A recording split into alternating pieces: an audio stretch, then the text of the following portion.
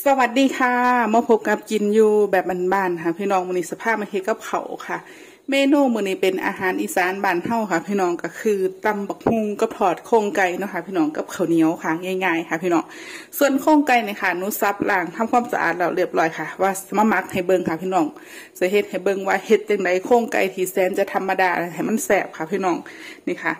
ส่วนอันนี้ก็คือกระเทียมกับพริกไทยเนาะค่ะหนูเอาใส่ไว้ค่ะเดี๋ยวสโคกให้ละเอียดค่ะ พี่น้องแล้วค่อยมามักให้เบิ่งจ้าเอาละค่ะพี่น้องนุโขกแล้วเรียบร้อยค่ะ ที่นี่ก็จะทำการหมักค่ะ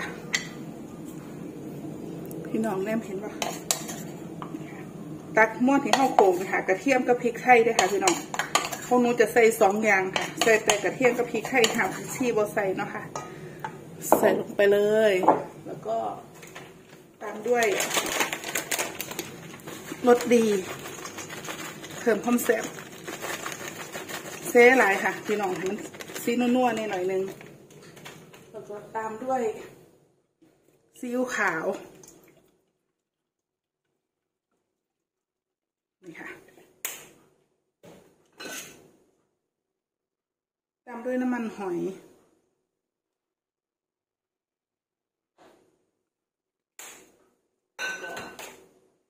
ตามด้วยแป้งทอดกรอบค่ะ พี่น้อง อีหอได้ก็ได้ค่ะ ใส่ลงไปเลยค่ะ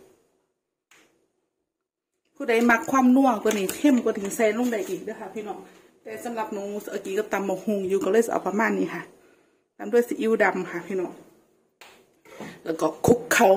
ไก่ทั้งบนี้ให้เขากันค่ะนี่จ้าพี่น้อง หลังจากที่คุกเข่าแล้วหน้าตาก็จะเป็นยังสีเนาะค่ะถ้าจะพักหมักถิ่มไว้สามสิบนาทีก็ได้หรือถ้าจะถอดเลยก็ได้ค่ะ พี่น้องเดี๋ยวหนูจะเอาถิ่มไว้สามสิบนาทีค่ะทำให้เขาเหนือจะหน่อยนึงนะคะ มักแล้วสามสิบนาทีค่ะ พี่น้องเราจะมาทอดกันค่ะ ทอดนี้ให้ขย่อยทอดด้วยค่ะ พี่น้องอย่าลงทีเดียวเบิร์ดเพราะว่าน้ำมันเท่าหน่อยค่ะ ถ้าเข้าลงทีเดียวเบิร์ดมันจะกรอบกระทัวถึงนะคะพี่น้องเอาใส่เท่าที่เข้ากระทะเข้าใส่ได้ก็มาถึงน้องบอกก็คือว่าหนูเคยอาศัยทีเดียวเลยค่ะพี่น้องกระซุกอยู่ค่ะ แต่ว่ามันหันโบโบสวยค่ะ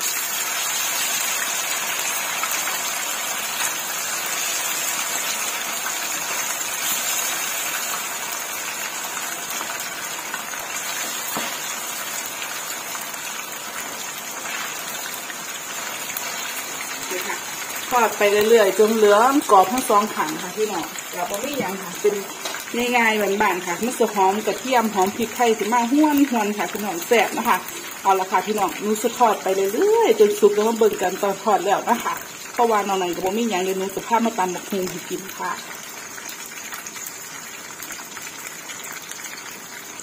เอาละจ้าพี่น้องช่วงที่ทอดข้งไก่อยู่ค่ะเดี๋ยวหนูจะพามาตำบักฮุงค่ะ พี่น้องก็จะใส่บักพริกลงไป เอาเผ็ดๆเลยค่ะ พี่น้องนี่ค่ะ กระเทียมค่ะมะละกอใส่กันกระเด็นค่ะ พี่น้องตำเลยค่ะที่นี่ตำบักพริกแหละปกติหนูก็จะใส่บักพริกแห้งนะคะพี่น้องแต่ว่าพริกแห้งมันโขกเนี่ย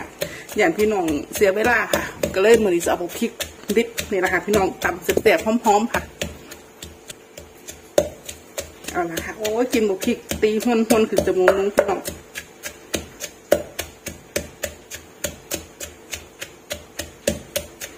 ตำบักคุ้งนี่ได้ค่ะพี่น้องสลัดดูนี่ทาบ่เผ็ดกับบ่แสบเลยค่ะเอาแบบอ่อนๆนี่ก็คือตำไทยไปเลยค่ะ พี่น้องอันนี้บะเขือเทศค่ะ ใส่ทั้งหน่วยค่ะ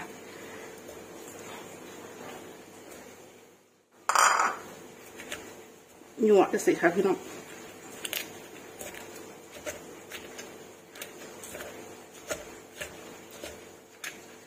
เอาละค่ะ ใส่มะนาวลงไป อันนี้นุ้ใส่ทั้งเปลือกค่ะ ส่วนอันนี้นุ้สบีบเอาหน้ำมันค่ะพี่น้องนุ้บอกผมว่าเค็นมันนะคะมันเอาออกสบืนหมื่นได้จะหน่อยนึงค่ะนะคะตามด้วยชูรสของแสบของนัวขาดบ่ได้ค่ะแสบหลายแสบหลาย ตามด้วยน้ำตาลทรายค่ะพี่น้อง สิ่งที่หนูขาดบ่ได้เลยค่ะ เวลาหนูตำบะฮุงค่ะพี่น้องต้องใส่น้ำตาลค่ะ อันนี้พี่น้องโมมักกะยาใส่ด้วยค่ะ พี่น้องก็จะออกหวานๆเหรียญๆนะคะตำด้วยน้ำปลาร้า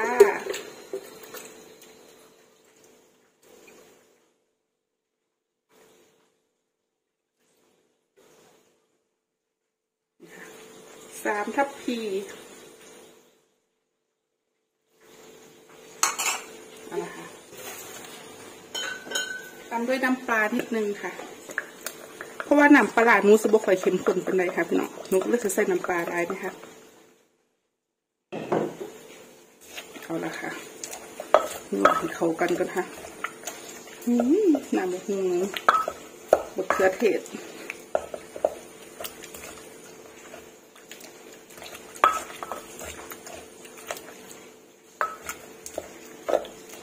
เอาละจ่าที่ดีใส่บะฮุงลงไปค่ะ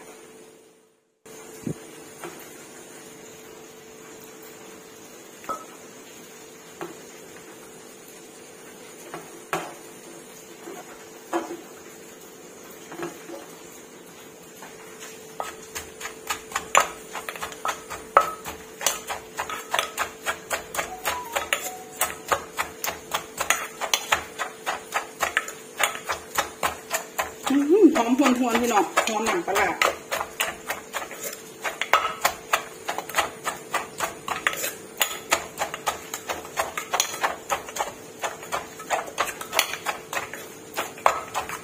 เอาละค่ะ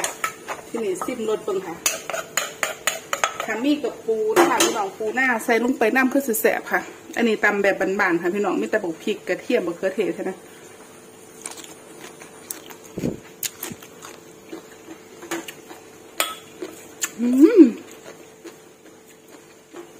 โอเคแล้วค่ะพี่น้องแซ่บแล้วผู้ใดมักเข้มกว่านี้ใส่ลงไปอีกค่ะ พี่น้องสำหรับ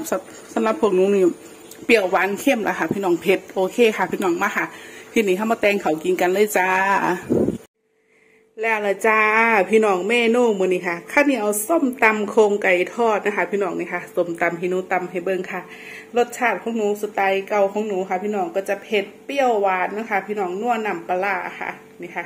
สีสันหน้าตาแบบนี้ค่ะพี่น้องบะเขือเครื่องวันนี้หนูใส่บะเขือเทศราชินีค่ะใส่ลงไปทั้งน่วยเลยค่ะ บุบบุบเอาค่ะ พี่น้องเพราะว่าสื่อมาหลายมันเสียค่ะ พี่น้องเสียดายมันเนาะค่ะนี่จ้ะร่างแสบๆสิบะฮุงกรอบๆกินปลาร้าหอมๆค่ะ ส่วนผักค่ะพี่น้อง อันนี้ก็คือผักกาดหอมค่ะ พี่น้องแล้วก็กระถินอ่อนค่ะ บักกระถินอ่อนแล้วก็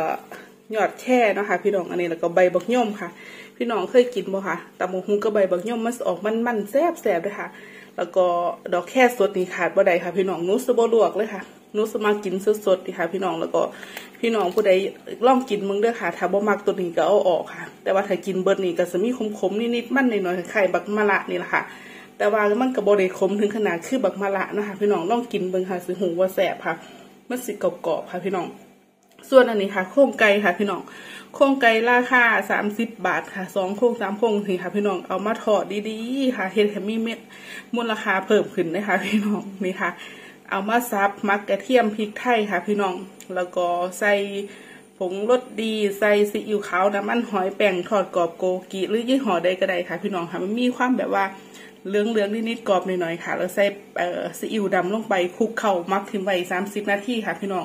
นี่แหละค่ะ โครงไก่ธรรมดาที่เอาเมื่อกี้ก็ตำบงฮุงนี่แซ่บค่ะนี่ค่ะถามมาขายครูก็ตำบงฮุงนี่ก็ใส่ได้เลยได้ค่ะ พี่น้องเพราะว่าในยุคนี้โครงไก่นี่ก็คือกระแพงขึ้นราคาคือกันค่ะ พี่น้อง แล้วก็ข้าวเหนียวคือเก่าค่ะ นี่แหละค่ะ เมนูอาหารอีสานบ้านเฮาค่ะ พี่น้องง่ายๆบ้านๆสไตล์หนูเนาะค่ะก็สกินประมาณนี้แหละค่ะ พี่น้องก็สบ่ได้มีอีหยังมากมายเนาะค่ะ กินง่ายยู่ง่ายค่ะ พี่น้องนี่แหละค่ะ ขอบคุณหลายๆเด้อค่ะ พี่น้องทุกผู้ทุกคนที่เขามารับชมค่ะ มากดไลค์กดแชร์กดติดตามให้